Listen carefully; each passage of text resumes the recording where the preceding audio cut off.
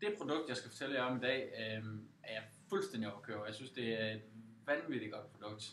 Det er et produkt fra øh, Pelisumi, der hedder Ultra Jacket, som er sådan en meget, meget, meget letvægts softshell. Utrolig tynd og meget fleksibel øh, jakke, som, øh, som har en utrolig vandtæthed. Den holder, holder vandet øh, rigtig godt væk, øh, selv når det, det regner ret meget.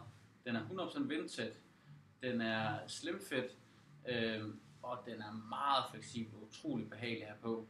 Derudover har den øh, de her paneler over skuldrene, som er sådan en silikonebehandling, som faktisk gør, hvis du også løber med øh, løberygsæk, så sidder rygsækken rigtig, rigtig godt øh, på skuldrene.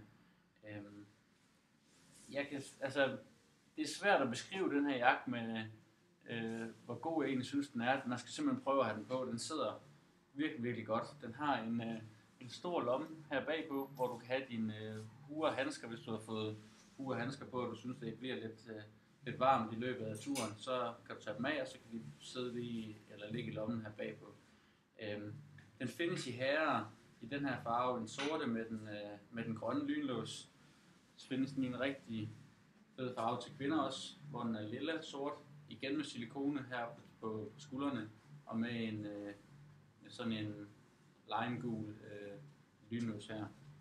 Øhm, et produkt, som, som jeg har ventet meget på, øh, og som helt sikkert lever op til de forventninger, jeg havde til produktet, inden jeg, jeg testede det. Øh, det her er det produkt, jeg synes, hvis man går rigtig meget op i at løbe, og godt kan lide at bruge meget tid på, på, på sin træning, man skal, man skal prøve af. Det er, det er en rigtig, rigtig lækker jakke.